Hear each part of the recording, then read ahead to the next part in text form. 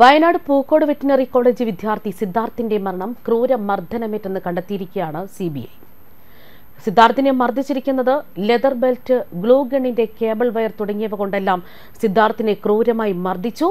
കോളേജിലെ വിദ്യാർത്ഥിനിയോട് മോശമായി പെരുമാറിയെന്ന് ആരോപിച്ചാണ് ഇങ്ങനെ ഒരു കുറ്റവിചാരണ നടത്തിയത്. അതും അടിവസ്ത്രം മാത്രം ധരിപ്പിച്ചായിരുന്നു കുറ്റവിചാരണ നടത്തിയതെന്നും സി ബി ഐ തയ്യാറാക്കിയ കുറ്റപത്രത്തിൽ വ്യക്തമാക്കുകയാണ്.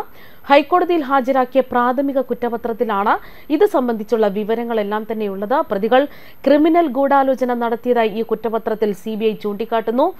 തുടർച്ചയായി സിദ്ധാർത്ഥിനെ മർദ്ദനമേൽപ്പിച്ചെങ്കിലും സിദ്ധാർത്ഥിന് ആവശ്യമായ വൈദ്യസഹായം ഒന്നും തന്നെ ഇവർ നൽകിയിട്ടില്ല എന്നും വ്യക്തമാണ്. മാനസികാഘാതം മറികടക്കുന്നതിനും സഹായിച്ചില്ല. അതിനാൽ തന്നെ പ്രതികളുടെ മൊബൈൽ ഫോണുകളുടെ ഫോറൻസിക് പരിശോധന നടത്തേണ്ടതുണ്ട്. കുറ്റകൃത്യത്തിൽ കൂടുതൽ പേർ ഉൾപ്പെട്ടിട്ടുണ്ടോ എന്നത് സംബന്ധിച്ച് അന്വേഷണം നടത്തേണ്ടതുണ്ടെന്നും സി ബി ഐ തയ്യാറാക്കിയ റിപ്പോർട്ടിൽ വ്യക്തമാക്കിയിരിക്കുകയാണ്. ഇതിനിടെ സിദ്ധാർത്ഥിന്റെ മരണവുമായി ബന്ധപ്പെട്ട് ഡൽഹി എയിംസിനെയും സി ബി ഐ സമീപിച്ചിട്ടുണ്ട്. സിദ്ധാർത്ഥിന്റെ പോസ്റ്റ്മോർട്ടവും ഫോറൻസിക് റിപ്പോർട്ടുകളടക്കം എയിംസിലേക്ക് അയച്ചു നൽകി. ഡൽഹി എയിംസ് ഉദ്യോഗസ്ഥരോടാണ് സി ബി ഐ വിദഗ്ധ ഉപദേശം തേടിയിരിക്കുന്നത്. അറിയേണ്ടത് സിദ്ധാർത്ഥിന്റെ മരണം ആത്മഹത്യയാണോ കൊലപാതകമാണോ എന്നതാണ്. കാരണം ഇപ്പോൾ സിദ്ധാർത്ഥിന്റെ മരണം സിദ്ധാർത്ഥിനെ ക്രൂരമായി മർദ്ദിച്ചാണ് കൊലപ്പെടുത്തിയതെന്നുള്ളത് വ്യക്തമാണ്. എങ്കിലും ഇതിൽ കൂടുതൽ വ്യക്തത വരുന്നതിലേക്ക് വേണ്ടിയിട്ടാണ് ഡൽഹി എയിംസുമായിട്ട് സി ബന്ധപ്പെട്ടിരിക്കുന്നത്. കാരണം ഇപ്പോഴും സിദ്ധാർത്ഥ് തൂങ്ങി മരിച്ചതാണോ അല്ലെങ്കിൽ കൊന്ന് കെട്ടിത്തൂക്കിയതാണോ മരണത്തിന് കാരണമെന്നത് വ്യക്ത വ്യക്തത വരുത്തുന്നതിന് വേണ്ടിയാണ് സി ഇങ്ങനെ ഒരു കാര്യങ്ങളിലേക്ക് നീങ്ങുന്നത്.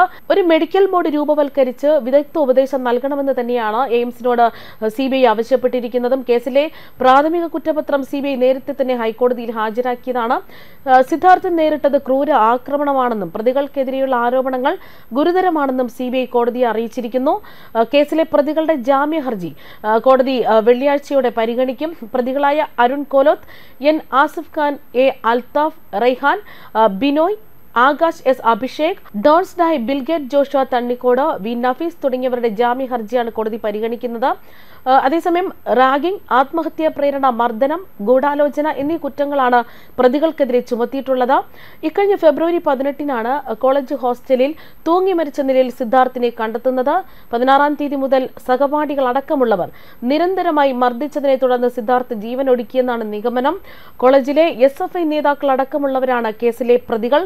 അതേസമയം കോളേജിൽ സിദ്ധാർത്ഥിന്റെ ഡമ്മിയുമായിട്ടായിരുന്നു സി ബി ഐ സംഘം എത്തിയത്. തുടർന്ന് ഹോസ്റ്റൽ ശുചിമുറിയിൽ ശാസ്ത്രീയ പരിശോധനയടക്കം നടത്തി സിദ്ധാർത്ഥിന്റെ അതേ തൂക്കവും ഉയരമുള്ള ഡമ്മി എത്തിച്ചായിരുന്നു ശാസ്ത്രീയ പരിശോധന. വയനാട് പൂക്കോട് വെറ്റിനറി കോളേജിൽ ക്രൂരമായ ആൾക്കൂട്ട വിചാരണയെ തുടർന്നാണ് സിദ്ധാർത്ഥ് കൊല്ലപ്പെട്ടതെന്നാണ് സി ബി ഐ വ്യക്തമാക്കുന്നത്.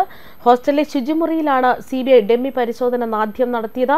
സിദ്ധാർത്ഥിന്റെ മരണത്തിൽ ശാസ്ത്രീയ തെളിവുകൾ ശേഖരിക്കാനായിട്ടാണ് സി ബി ഐ സംഘം കോളേജ് ഹോസ്റ്റലിൽ എത്തിയത്. C B I D I G S പിമാരായ A K Upadhyaya Sundarvel എന്നിവരുടെ നേതൃത്വത്തിലാണ് പത്തോളം പേർ ഈ സംഘത്തിലുള്ളത്. ഫോറൻസിക് ഉദ്യോഗസ്ഥരും ഇവർക്കൊപ്പം എത്തിയിരുന്നു.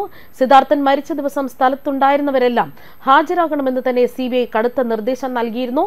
സിദ്ധാർത്ഥിന്റെ മരണം കൊലപാതകമാണെന്ന പരാതി ഉയർന്ന പശ്ചാത്തലത്തിലാണ് ശാസ്ത്രീയ പരിശോധനയടക്കം നടത്താൻ C ഒരുങ്ങിയതും. News desk Karma news.